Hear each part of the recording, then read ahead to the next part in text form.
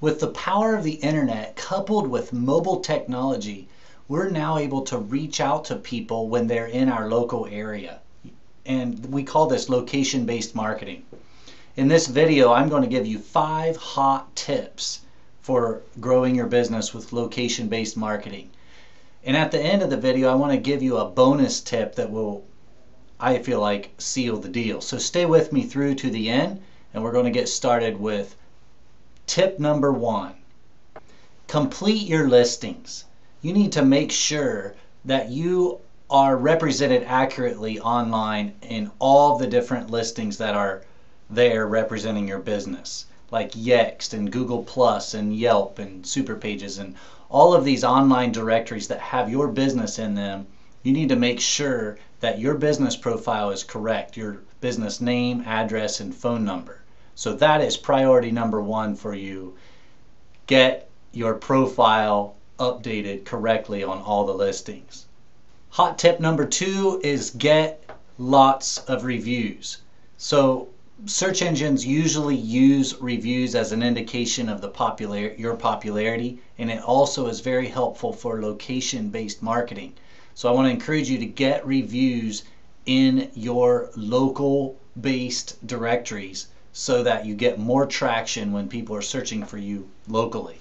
Tip number three is give lots of perks. Keep your customers coming back for more. You know, if they're in the area and they have a coupon to your store or um, to your service, they're probably going to choose you. Use location based advertising.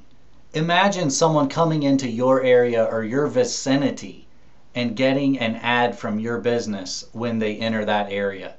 That's the power of the internet coupled with mobile technology is you can push ads to people when they're in your area.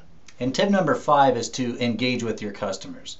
Don't make the mistake of ignoring people when they reach out to you online. Make sure that you are keeping the conversation going and showing that you're real, not only in your store or in your service, but online as well. Now, I have a bonus tip for you. I was at my local chamber of commerce at their coffee club this morning and I met a few people I'd never known before. I had one lady come up to me and give her give me her brochure and business card and said, "I need to speak with you. Reach out to me."